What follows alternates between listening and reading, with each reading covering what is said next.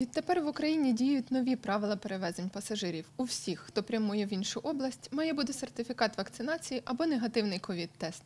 Головна мета нових правил мотивувати населення робити щеплення проти ковіду на фоні зростання захворюваності і смертності.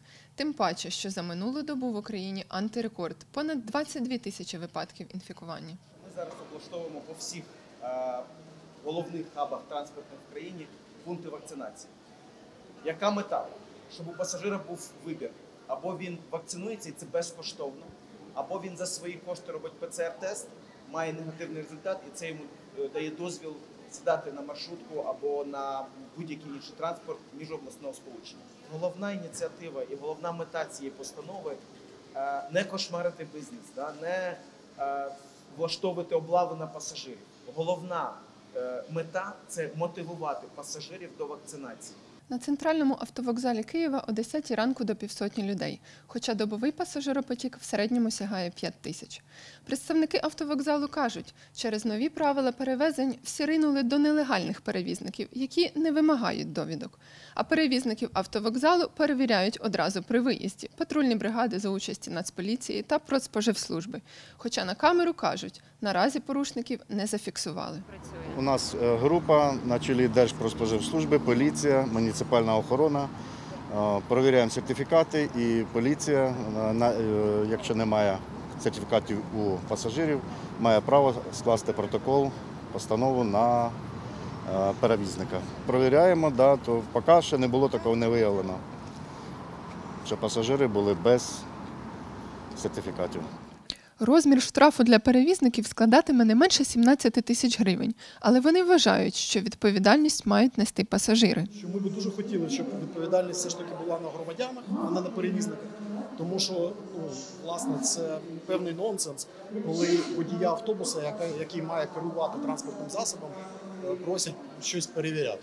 Тобто е, ну, в цьому немає ніякої логіки, бо в нього для того немає жодної кваліфікації і, взагалі е, повноважень насправді. На 9 ранку ми маємо 40% відмов е, перевізників від того. Тобто люди не поїхали в Харків, Миколаїв, в Херсон. Ще кілька рейсів, які просто відмовилися виїжджати, тому що насправді дуже зрозуміла логіка власне постанови. На автовокзалі організували пункт тестування для тих, хто ще не встиг щепитися, а згодом облаштують і пункт вакцинації. Але пасажири, які підготувалися заздалегідь, розповіли, що нові правила підтримують. Більше підтримую, чим не підтримую.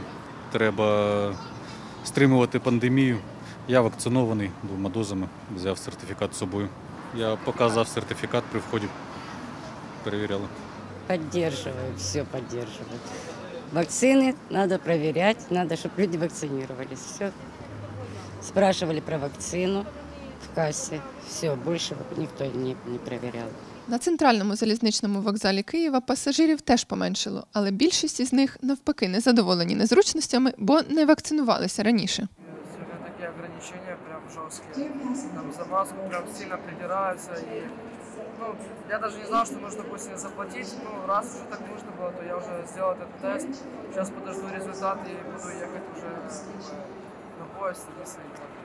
По телевізору я то дізналася, що треба робити. От прийшла узнати, що чого, бо треба квиток покупати, треба, щоб сісти в поїзд.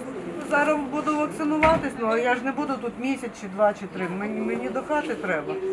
Насмарк маю, а скажуть, можна чи не можна то робити. Тож треба хоч, щоб врач оглянув чи, чи як. Щоб не розгубити пасажирів, в Укрзалізниці теж розгорнули експрес-лабораторії та пункти вакцинації. Ми розгорнули 5, а зараз додали ще два центри вакцинації прямо тут на вокзалах. От біля одного з них ми безпосередньо знаходимося. Тобто ті люди, які приїздять заздалегідь, вони можуть отримати вакцину безпосередньо на вокзалі. Плюс за домовленістю із Міністерством охорони здоров'я видається відразу довідка тут на місці, з якої можна сісти в потяг. Люди, які не вакциновані і не вакцинуються, для них також передбачено можливість потрапляння в потяги, тому що наша задача, щоб всі їхали, щоб пасажирський рух не спинявся.